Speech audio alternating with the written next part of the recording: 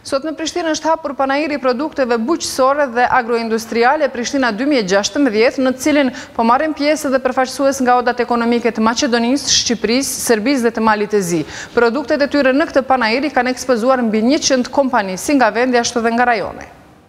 Panairi i radhës i produkteve dhe i mjeteve bujqësore është edhe një mundësi për bizneset që të prezantojnë prodhimtarinë e tyre por edhe të krijojnë lidhje të reja afariste. Një nga ekspozuesit është edhe kompania Frutex nga Suhareka. Kompania jonë prezentohet me shumicën e produkteve,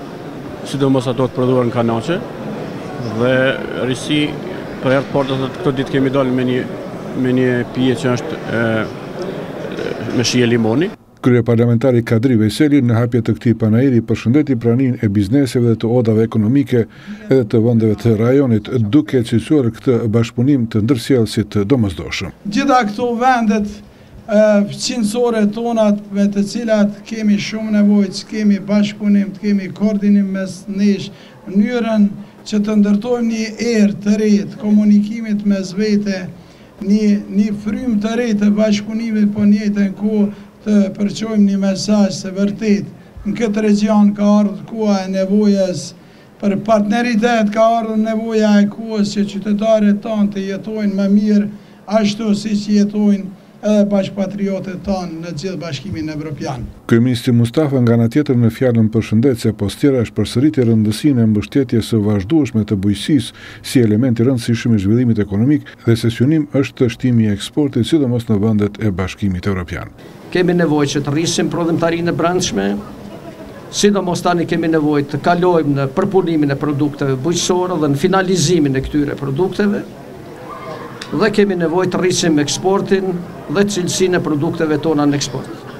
Në këtë aspekt unë jam i kënaqur me trendin e tanishëm, sepse kemi trend të rritjes së eksportit, Kemi trend të rritjes ekonomike prej rreth katër për qind ose mbi katër për qind këtë vit dhe kemi trend të bashkëpunimit të mirë ndërkombëtar ekonomik dhe tregtar me vendet fqinje, me tregun në regjion dhe tani po përgatitemi që të jemi konkurrent edhe në tregun evropian mbi bazën e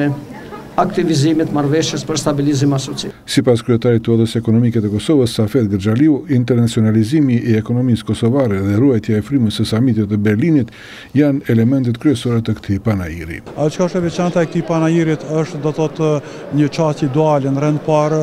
të promovohet internacionalizimi i ndërmarrësisë kosovare, sepse vetë prania e Sekretarit Gjeneral të Eurochambers Zoti Abruzini është një dëshmi dhe se integrimi ekonomik nuk ka alternativë dhe e dyta jemi do të thotë duke vazhdu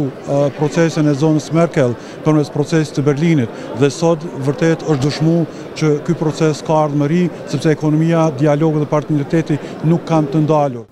Në hapje të panairit ishte edhe Arnoldo Abruzini, Sekretari i Përgjithshëm i Odave Ekonomike të Evropës, i cili tha se ky panair ka rëndësi për përmbushjen e synimeve integruese të Kosovës, si dhe zhvillimin ekonomik, duke krijuar ambient të përshtatshëm për bizneset dhe hapjen e vendeve të reja të punës.